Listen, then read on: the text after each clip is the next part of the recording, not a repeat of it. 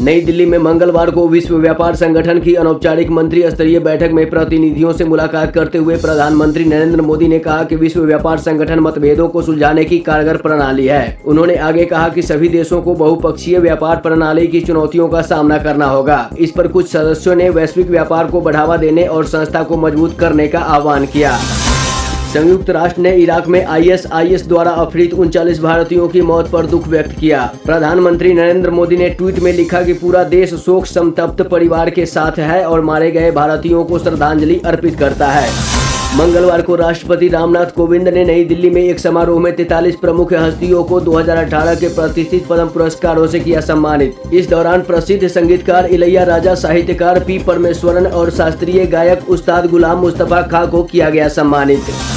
आज फिर संसद के दोनों सदनों में हुआ हंगामा। राज्यसभा कल तक के लिए किया गया स्थगित। आंध्र प्रदेश को विशेष राज्य की दर्जा की मांग ठुकराने पर मोदी सरकार के खिलाफ अविश्वास प्रस्ताव लाने का नोटिस दिया गया। साथ ही बिहार को भी विशेष दर्जा देने की मांग करते हुए सांसद पप्पू यादव ने लोकसभा सचिव जनरल को नोटिस देकर बिहार राज्य को विशेष दर्जा देने के मामले में तत्काल चर्चा की मांग की।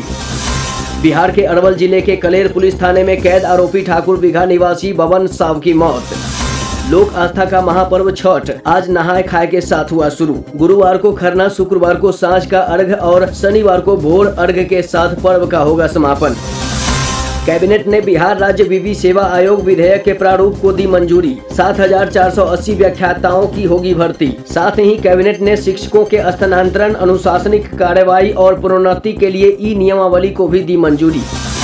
1964 की बेहतरीन फ़िल्मों में से एक वो कौन थी? को क्रियर्स इंटरटेनमेंट ने खरीद कर इसकी रीमेक बनाने की की तैयारी। बॉलीवुड से मिली जानकारी के अनुसार मनोज कुमार के किरदार के लिए शाहिद कपूर को किया गया फाइनल।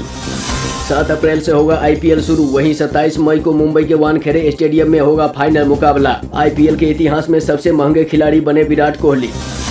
बिहार के धरती पर जन्मे मशहूर सहनाई वादक उस्ताद बिस्मिल्ला खां के 102वें जन्मदिन पर गूगल ने विशेष डूडल बनाकर दी श्रद्धांजलि। बिहार के डुमराव में जन्म लिए उस्ताद बिस्मिल्ला खां का वाराणसी के दाल मंडी में पैतृक घर है और अपनी सहनाई वादन से दुनिया में भारत का नाम बुलंदियों पर पहुँचाने वाले उस्ताद बिस्मिल्ला खां को मूज न्यूज़ सौ परिवार की ओर से विनम्र श्रद्धांजलि। ताज़ा तरीन खबरों के लिए देखते रहिए मूज न्यूज़।